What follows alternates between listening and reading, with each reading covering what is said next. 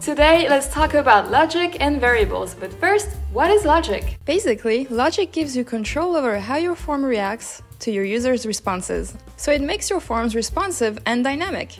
Logic works by setting the rules so that your users can skip certain questions based on their previous answer, so that they don't have to see every single question on your form that is not relevant to them. You can use logic on so many different types of forms, like for example personality quizzes, educational purposes like a math quiz, but also for job estimations and quotation forms to name a few. And what are variables? A variable is like a container or a label that the form uses to remember specific information you provide. It's kind of like putting labels on boxes to keep track of what's inside. In short, variables give online forms the ability to remember, process, and react to the data that you provide, making your interactions with the form more interactive and customized to your needs.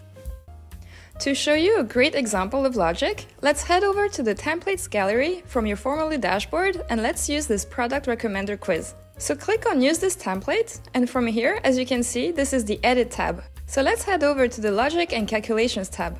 Awesome, here you can see a diagram of the logic of this form. When you create yours, it will also automatically display like this. You can zoom in and zoom out to see the logic structure better. And if we click on one of the options, you can see here its conditions.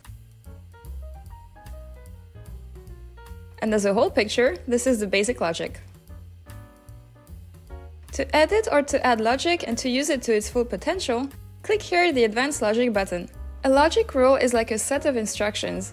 It has two parts, a condition, which is like when this happens rule, and an action, which is like do this command. So when the condition you set is true, the action you picked will happen. Like here, this question for example. Your user chooses one of these options, then the next question that will appear to them will be, we've got sunglasses personalized for you. And as you can see, it has three different actions. From there, an action is what happens when the condition happens on the form. But you can also use the AND OR option if you want to use a conditional statement that is either true or false. Here you can see the default logic. As you can see, it says always. This is when the only rule is the default rule, which means the action will be taken unconditionally, like for example, always jump to field I'm looking for. And then there's the otherwise, Think of it like a backup plan. If none of the special rules work, this default rule kicks in. It's like a safety net for when everything else fails. You can create multiple logic rules, and you can do so by creating your first rule by clicking here on the Add If Else button, and then you can create more rules by simply clicking on the Add Another button. For the logical conditions, you can see here on question 4 if my face shape is, choose the field you want to create a rule on, so let's choose option 3, oval and your user chooses option 2, men's sunglasses, then jump to Smith, Lowdown Slim. Basically, when you see if and pick a question, you're deciding which question to give a rule to. You can make rules for each question based on the ones before it. For example, the first question gets its own rule. The second question can have a rule for itself and the first question. The third question rule can include all the questions before it. There are different evaluation options depending on the fields that you have added in your form. So for example, choice fields like single choice, multi-choice, drop-down will give you the options is, is not, is answered. Text-based fields like short text, email, phone, etc. will have is equal to, is not equal to, contains, doesn't contain, starts with, ends with, is answered. Numerical fields like number and variable of type integer will have is equal to, is not equal to, is greater than, is less than, is greater than or equal to, is less than or equal to is answered. But except that the variable of type integer doesn't have the is answered evaluation option because variables don't get answered by users on the form. I'll explain variables in the next chapters of this video, so make sure to keep watching. Then there's the evaluation value. So for example, you can type the value in the field if a number field is bigger than 3, and here you type in the 3, or if name is Tom, and here you type in the value Tom. You can choose from the list if field number 1 is bigger than field number 2, or if the selected choice field is option 1. And with possible actions, you can show a specific field or fields, which means that by default, this field will be hidden unless this condition happens on the form to show the field and it is only available on single-step forms. You can also hide a specific field or fields, which means that by default, the field will be visible on the form unless this condition happens on the form to hide the field. It is also only available on single-step forms. And by default, all fields are visible unless you hide them with logic. By default, the logic is set to jump from question A to question B to C. But you can use logic to skip question B from A and directly to C. Only available on multi-step forms, but on single-step forms you can show and hide questions. For example, if the user chooses I'm a business, ask for the business name instead of the person name. The After Submit Go to Link option is good for sending your users to your different landing pages based on their questions. The After Submit Go to Success page is a default success page. So by default, all submissions will show the success page and you can customize it and show it on the form editor. But you can also create more custom success pages too. I will very quickly show you how. So go to your Edit tab and add a success message.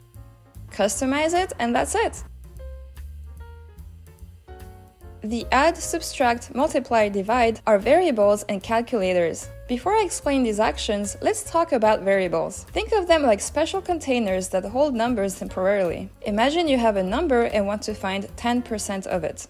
You can use a variable to save that 10% so you can use it later. Think of a variable like a basket. Imagine you have a basket to put apples in. You pick an apple, calculate its size, and put it in the basket. Later, when you need to use that apple size, you can just look into the basket instead of measuring again. And there are two default variables that exist on all forms, such as price. This variable is connected to the payment method that you set on your form. So if the form has a payment method, your form will redirect to it after submission, and the user will be able to pay the value stored in the price variable, which means the form will use the price variable to know how much to charge the user when they finish completing the form. The score variable is a default variable we added for you to calculate different values, but you can skip using it and create instead a custom variable field with a name that matches your use case. So basically, it's a ready to use tool for counting things. But if you want, you can make your own counting tool with a name that fits what you're counting. Then you have different custom variables types such as integer, which gets numerical values, decimal, if you want your numerical values to have decimals, use this variable type. Text, to store text values. Formula, to store formulas. You can add your formula in the default value of the variable field. For example, you can multiply two numbers in the form and store the result in your formula variable. The field right after the action is like the place where the action happens. For example, when you want to add, you can type the number you're adding. So basically, you can type the value in the field, like for example, add 3 to a specific variable, and here you type in the 3. Or you can pick things from a list to add together. Like for example, add variable 1 to variable 2, where both variable 1 and variable 2 are non-formula variables. Okay, now that I have shown you how to calculate variables and different values, you might want to show the user the results of these calculations so they know what's happening. To show the value of a variable, you can simply use answer piping. Put the ID of the variable in double braces and it will show the latest result of it in real time. A good example is the job estimate template, which when you change options and numbers on the form, it changes the final payable amount. Here are a few templates that you can use and check out where they contain logic and variables. Like for example, this order form, you can see here it uses logic. And with this self-grading quiz, if we go to the logic tab of this template, we can see its logic and how it has been set. But also this product recommender contains logic. And this personality quiz that contains variable field right here. And finally, this area calculator that is in the view of an app. And that's it! I hope this video was helpful and if you have any questions, please leave them in the comment section below and please don't forget to like this video, subscribe and share with your friends. Happy formuling!